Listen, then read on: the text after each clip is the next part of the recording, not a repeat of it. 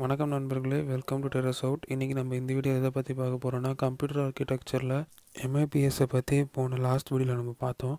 அந்த எம்ஐபிஎஸ்சில் நான் லாஸ்ட் வீடியோவில் நான் சொல்லியிருந்தேன். டேட்டா ட்ரான்ஸ்ஃபரில் லோடு வேர்ட் ஸ்டோர் வேர்ட் அந்த மாரி ரெண்டு டாப்பிக்கோட சொல்லியிருந்தேன். அந்த ரெண்டு டாப்பிக்கை இந்த வீடியோவில் நம்ம நல்லா டீட்டெயிலாக பார்க்க போகிறோம் அதுக்கு முன்னாடி நம்ம சில பேசிக்ஸ் பார்ப்போம் எம்ஐபிஎஸ்க்கு ஏன்னா அது இனிமேல் வர்ற டாபிக்ஸ்க்கெலாம் உதவும். அதனால் அந்த இதை பார்த்துட்டு அதுக்கப்புறம் நான் லோடு வேர்ட் ஸ்டோர் வேர்ட்னா என்னென்ட்டு அதனால் டீட்டெயிலாக நம்ம இந்த வீடியோவில் பார்ப்போம். வாங்க வீடியோக்குள்ளே போகலாம் இப்போ ஃபஸ்ட்டு எம்ஐபிஎஸ் டாப்பிக்கில் போகிறதுக்கு முன்னாடி ரெஜிஸ்டர்னால் என்ன அதுக்கப்புறம் மெமரினா என்னன்னு தெரிஞ்சுக்கோங்க.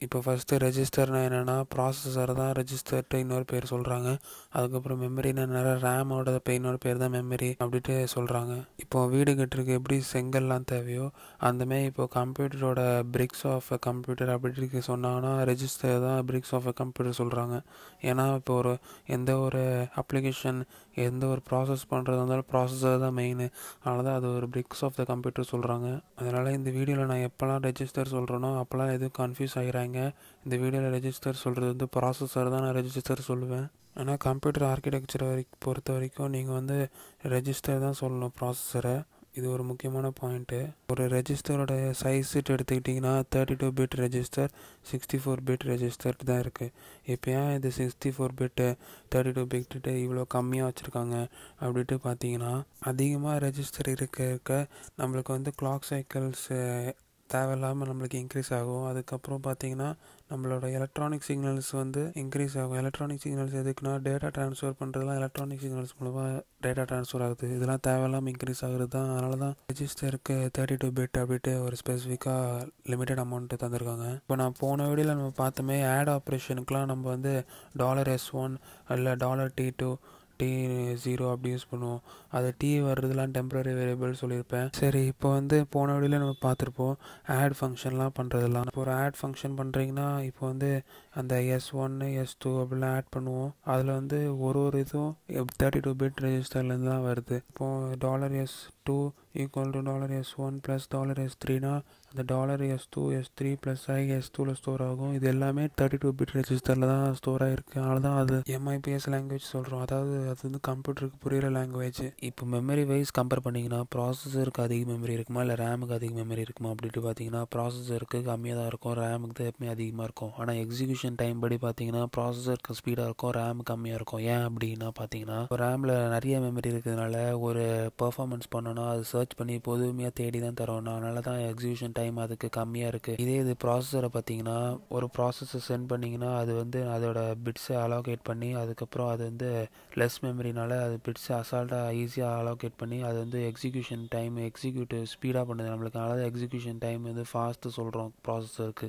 இதனால தான் ப்ராசஸர் வந்து எப்பவுமே சுப்பீரியர் ரேமோடு இப்போ நீங்கள் ப்ராசஸரை பார்த்துருந்தீங்கன்னா தெரியும். அதாவது ஒரு ஒரு நிறைய பின்னுமே இருக்கும். அந்த பின்னு வந்து கரெக்டாக நம்ம கம்ப்யூட்டரில் ஃபிக்ஸ் பண்ணணும். கொஞ்சம் ஒரு பின்னு வளைஞ்சாலும் நம்மளால் ப்ராசஸர் அது வேஸ்ட்டாக போயிடும் அது ஏன் வேஸ்ட்டாக போகுது அப்படின்ட்டு பார்த்தீங்கன்னா அது வந்து ஒரு ஒரு பின்னும் ஒரு ஒரு ரெஜிஸ்டர் மை அதில் வந்து மைன்யூட் இன்ஃபர்மேஷன் நிறைய ஸ்டோர் ஆகிருக்கும் அதனால் ஒரு பின்னு வளைஞ்சாலும் சரி உடஞ்சாலும் சரி அது நீங்கள் லைட்டாக வளைஞ்சி அந்த லைட்டாக நீங்கள் கையிட்டு சரி பண்ணி மாட்டினீங்கனாலும் சரி அது ஒர்க் ஆகாது. ஏன்னா அது வேஸ்ட் ஆகிரும் ப்ராசஸர் அதனால் இப்போ எப்பவுமே ப்ராசஸர் நீங்கள் ஒரு கம்ப்யூட்டரில் மாட்டுறீங்கன்னா அது ரொம்ப கேர்ஃபுல்லாக கவனிச்சு மாட்டுங்க. நம்ம லோட் வேர்ட் ஸ்டோர் வேர்டு பற்றி பார்ப்போம். அதுக்கு முன்னாடி ஒரு எக்ஸாம்பிள் டிஸ்பிளே ஆகும் உங்களுக்கு. அதில் வந்து நீங்கள் இப்போ நான் சொல்ல போகிறத நல்லா கவனிச்சுக்கோங்க. இது நல்லா புரிஞ்சால் தான் நான் சொல்ல போகிற topic load word store word அப்படின்னா என்ன நல்லா புரியும்?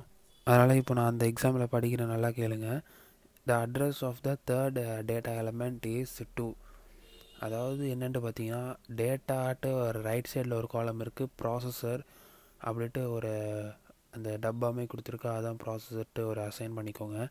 இப்போது அட்ரஸ் வந்து நடுவில் கொடுத்துருக்கு ஜீரோ ஒன் டூ த்ரீட்டு இப்போது data third data element is two அதாவது டேட்டாவில் எது தேர்டு ஒன்று first one not one second டென்னு தான் தேர்டு அதோட டென்னோட அட்ரஸ் என்னன்ட்டு அதுக்கு நேராக என்ன இருக்கு பாருங்கள் டூ அதே தான் the value of memory of two is ten அதாவது மெமரினா என்ன? அட்ரஸ்ஸு மெமரினா என்ன? ரேம் தான் சொன்னேன். அதில் அட்ரஸ் வந்து டூ மெமரி ஆஃப்னா டூ கொடுத்தாங்கன்னா அது வந்து அட்ரஸை குறிக்கும். அதாவது டூ அதாவது டூனா ஜீரோ ஒன் டூ அதுக்கு நேராக என்ன வேல்யூ இருக்கோ அதான் டென்னு அதான் டேட்டா இதுதான் அந்த எக்ஸாம்பிள் நல்லா புரிஞ்சிக்க வேண்டியது. இது நல்லா உங்களுக்கு புரிஞ்சால் தான் உங்களுக்கு வந்து லோடு வேர்டு என்னென்னு தெரியணும் அதுக்கப்புறம் ஸ்டோர் வேர்டு என்னென்னு தெரியும். நான் சொல்ல போகிறதுல ஃபஸ்ட்டு சில எக்ஸாம்பிள்ஸ் சொல்லிடுறேன். அதுக்கப்புறம் நம்ம ஒரு எக்ஸாம்பிள்ஸ் நம்ம பார்த்தோன்னா நல்லாவே புரிஞ்சிடும் லோடு வேர்ட்னா என்னென்னு புரிஞ்சிடும் அதுக்கப்புறம் ஸ்டோர் வேர்ட்னா என்னென்னு புரிஞ்சிடும் ஃபஸ்ட்டு அந்த ரூல்ஸ் சொல்லிடுறேன். நீங்கள் போன வீடியோவில் பார்த்தமே அந்த இதில் நான் போன வீடியோவில் நான் எம்ஐபிஎஸ் அசம்பிளி லாங்குவேஜ்ட்டு ஒரு டேபிள் மாதிரி டிஸ்கஸ் பண்ணியிருப்பேன். அதில் வந்து நீங்கள் எக்ஸாம்பிள்ஸில் நீங்கள் பார்த்துருக்கலாம்.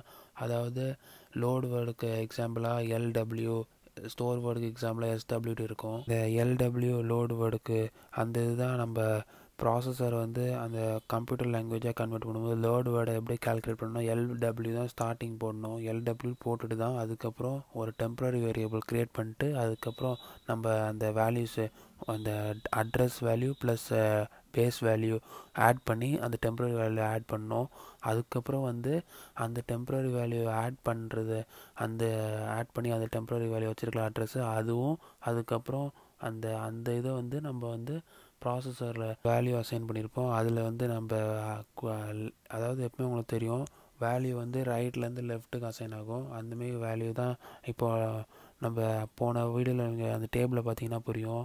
அந்த டேபிளில் போட்டிருக்கோம் லோடு வேர்டு வந்து dollar S one equal to memory of dollar S two plus டுவெண்ட்டிட்டு இருக்கும். அந்த memory of dollar S two plus twenty அது வந்து மெமரி அதாவது அது ரேமு அது வந்து ப்ராசஸருக்கு மூவ் ஆகும். எஸ் ஒன் அது. அதான் நான் அது சொல்லியிருப்பேன். லோடு வேர்டு என்னென்னா moving data from memory to processor இதுதான் ப்ராசஸர் சொல்கிறதுக்கு போல register moving data from memory to register இதுதான் லோடு வேர்டு சொல்லியிருப்பேன். இப்போ அதுக்கு வச்சு ஒரு எக்ஸாம்பிள் பார்த்தோன்னா இப்போ சொன்னது நான் உங்களுக்கு புரிஞ்சிருக்காது அவ்வளோ இதுக்கு அவ்வளோ தெளிவாக இது புரிஞ்சால் சரிதான். ஒரு எக்ஸாம்பிள் பார்த்துட்டா நல்லாவே புரிஞ்சிடும் வாங்க இப்போ ஒரு ஃபோட்டோ டிஸ்பிளே ஆகும். அதை நல்லா ஸ்டெப் பை ஸ்டெப்பாக நான் எக்ஸ்பிளைன் பண்ணுறேன் அப்போ உங்களுக்கு லோடு வேணும்னா நல்லாவே புரிஞ்சிடும் எக்ஸாம்பிளை நான் படிக்கிறேன். Let assume that A is and given array hundred words and that compiler has associated the variable G and H with register dollar S one and S two as before அதாவது G and ஹெச்க்கு dollar S one dollar S two அப்படின்ட்டு assign ஆகுது.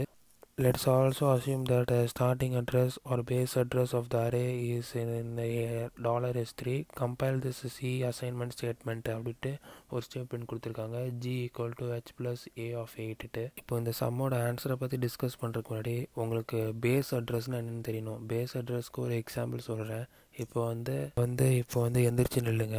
எந்திரிச்சு நின்றுட்டு நீங்கள் வந்து உங்கள் கால் எங்கே இருக்குது தரையில் இருக்கும். அதான் பேஸு அது வந்து ஒரு பேஸ் அட்ரஸாக ஒரு ஹண்ட்ரட் எடுத்துக்கிட்டிங்கன்னா அது ஹண்ட்ரட் அப்புறம் உங்கள் தலை எங்கே முடியுது? ஒரு ஃபிஃப்டியில் முடியுதுன்னா hundred plus fifty one fifty அதுதான் உங்களோட ஹைட்டாக இருக்கும். இதுதான் பேஸ் அட்ரஸ்ஸு அதான் ஏ ஆஃப் எயிட்டு கொடுத்துருக்காங்களே அந்த எயிட்டை நம்ம ஆட் பண்ணுறோம் அதுதான் அந்த ஆட் பண்ணுறதுக்கு தான் அந்த பேஸ் அட்ரஸ் கொடுத்துருக்காங்க. இப்போ நம்ம அந்த ஆன்சரை டிஸ்கஸ் பண்ணும்போது உங்களுக்கு நல்லா புரியும். பார்ப்போம் வாங்க.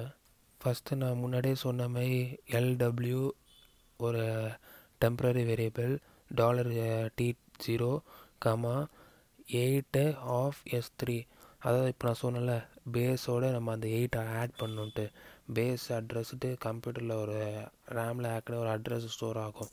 அதாவது இதில் வந்து எயிட் ஆஃப் டாலர் எஸ் த்ரீட்டு கொடுக்குறோம். இதில் வந்து eight of dollar S three eight எதுனாலனா அந்த ஏ ஆஃப் எயிட்டு அதனால தான் dollar eight of dollar S three கொடுக்குறோம். அந்த ஆட் பண்ணுற வேல்யூ வந்து டெம்பரரி வேல்யூவில் ஸ்டோலி ஸ்டோர் ஆகும்.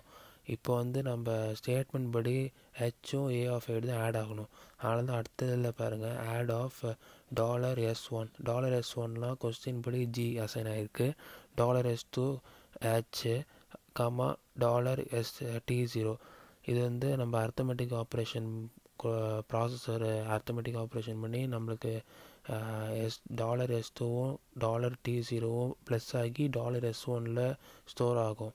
அதாவது இது என்னென்னா அதாவது ஏ ஆஃப் எயிட்டு அந்த அட்ரஸ் வந்து அந்த மெமரி வந்து ஹெச்சோட ஆட் ஆகி அது வந்து நம்மளுக்கு ஜியில் வந்து ஸ்டோர் ஆகும். அதாவது அந்த ப்ராசஸருக்கு அதாவது ரெஜிஸ்டர் அதாவது மூவிங் தான் moving data from memory to registered சொல்லலாம். இப்போது ஏ ஆஃப் எயிட்டை இன்னும் உங்களுக்கு ஈஸியாக புரிகிற மாதிரி இருக்கணும்னா இப்போ ஒரு அறை எடுத்துக்கோங்க. அறையில் நீங்கள் வந்து வேல்யூஸ் வந்து அந்த கால் பண்ணணுன்னா நீங்கள் அந்த பொசிஷனை சொல்லி தான் கால் பண்ணுவீங்க அந்தமாதிரி இப்போ ஒரு அரே வந்து ஒரு எயிட்டு ஏ ஆஃப் டென் வரைக்கும் ஒரு அரே எடுத்துக்கிட்டிங்கன்னா அதில் வந்து ஏ ஆஃப் எயிட் அறையை கால் பண்ணுறீங்க அதுக்கு வந்து தான் ஏ ஆஃப் எயிட்டில் எஸ் வந்து எஸ் டாலர் எஸ் த்ரீ வந்து நீங்கள் வந்து அட்ரஸ் பேஸ் அட்ரஸ் ஜீரோ வச்சுக்கோங்களேன். ஜீரோவிலேருந்து ப்ளஸ் எயிட்டு அப்போனா ஜீரோ ப்ளஸ் எயிட் எயிட்டு அதனால தான் உங்களுக்கு வந்து அந்த அரைய வேல்யூ எயித்து பொசிஷனில் இருக்கோ அந்த வேல்யூ உங்களுக்கு ஃபெச் பண்ணி ஆன்சராக வரும். இதுதான் ஒரு நல்ல ஒரு எக்ஸாம்பிள் எடுக்கலாம். ஏ ஆஃப் எயிட் அந்த ஃபெச்சிங் அந்த பேஸ் அட்ரஸோட ஆட் பண்ணுறதுக்கு உங்களுக்கு ரொம்ப கன்ஃபியூஸ் ஆச்சுன்னா இது ஒரு எக்ஸாம்பிள் எடுத்துக்கிட்டிங்கன்னா ரொம்ப நல்லா உங்களுக்கு புரியும். இப்போ இதேமாரி தான் ஸ்டோர் வேர்டும் என்ன ஸ்டோர் வேர்டுக்கு வந்து அப்படியே ஆப்போசிட்டு நான் ஏற்கனவே சொன்ன மாதிரி தான். அதாவது என்னென்னா moving a word from register to memory இதுதான் ஸ்டோர் வேர்டு இதில் வந்து இப்போ வந்து ஏ ஆஃப் எயிட் வந்து ரைட் ஹேண்ட் சைடு வந்ததில்ல ஸ்டோர் வேர்டில் வந்து லெஃப்ட் ஹேண்ட் சைடு வரும். லெஃப்ட் ஹேண்ட் சைடு வரும். ரைட் ஹேண்ட் சைடு வ வரணும் வரணும் வரலாம் இல்லாட்டி வராமல் இருக்கலாம். ஆனால் மெயினாக லெஃப்ட் ஹேண்ட் சைடு கண்டிப்பாக இருக்கும். அந்த ஏ ஆஃப் எயிட்டு இல்லை ஏ ஆஃப் வேறு ஏதாவது நம்பரு ஏதாவது கண்டிப்பாக இருக்கும். ஏன்னா இதில் வந்து நம்ம வந்து மெமரியில் ரெஜிஸ்டர்லேருந்து மெமரிக்கு மூவ் பண்ணுறோம் அதனால் லெஃப்ட் சைடு தான் எப்பவுமே நம்ம வந்து ரெஜிஸ்டர் சொல்லியிருக்கோம். அதனால் ரெஜிஸ்டர்னால எப்பவுமே ரெஜிஸ்டரில் ஒரு டேட்டா அந்த ஏ ஆஃப் டுவெல் uh, அந்தமாரி ஒன்று இருக்கும். இப்போ ஏ ஆஃப் டுவெல் அதெல்லாம் சொல்கிறப்ப அதெல்லாம் என்னென்னு பார்த்தீங்கன்னா அது ஒரு கான்ஸ்டன்ட் ஏ ஆஃப் டுவெல்னால் ஒரு கான்ஸ்டன்ட் அதனால தான் ஏ ஆஃப் டுவெல் சொல்கிறோம் எக்ஸாம்பிள் ஒரு டிஸ்பிளே ஆகும் உங்களுக்கு டிஸ்பிளேயில் அது நீங்கள் பார்க்கலாம். அதில் நீங்கள் இதே மாதிரி நான் சொன்ன மாதிரியே பாருங்கள் இப்போ வந்து ஃபஸ்ட்டு ரைட் ஹேண்ட் சைடு போன எக்ஸாம்பிளில் கால்குலேட் பண்ண மாதிரியே கால்குலேட் பண்ணியிருக்கேன். இப்போ லெஃப்ட் ஹேண்ட் சைடு பாருங்கள் அதே மாதிரி தான் ரைட் ஹேண்ட் சைடு எப்படி பண்ணுமோ அதே மாதிரி தான் கால்குலேட் பண்ணி என்ன அந்த டி ஜீரோ டி ஒன் அந்த டெம்பரரி வேரியபிள் மட்டும் மாறுது மற்றபடி அதே தான். அதை இப்போ வந்து dollar T one comma dollar S one comma dollar T zero இது எப்படின்னா டாலர் எஸ் ஒன்று டாலர் டி ஜீரோவும் ஆட் ஆகி டாலர் டி ஒன்னில் ஸ்டோர் ஆகும். அதாவது எப்படின்னா மூவிங்காக the word from register to memory இதுதான் அதோட கான்செப்ட் ஸ்டோர் வேர்டு இது எக்ஸாம்பிளோட பார்த்ததுனால உங்களுக்கு நல்லாவே புரியும்.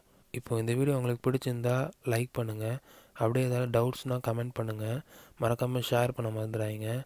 அப்புறம் சப்ஸ்கிரைப் பண்ண மறந்துடாதீங்க. அப்படியே பக்கத்தில் இருக்கிற பெல் ஐக்கானை கிளிக் பண்ணுங்கள் அப்போ தான் நான் அடுத்தடுத்த கம்ப்யூட்டர் ஆர்கிடெக்சர் வீடியோ போடுறதுக்கு உங்களுக்கு வந்து நோட்டிஃபிகேஷன் காமிக்கும். நன்றி. அடுத்த வீடியோவில் நம்ம பார்ப்போம்.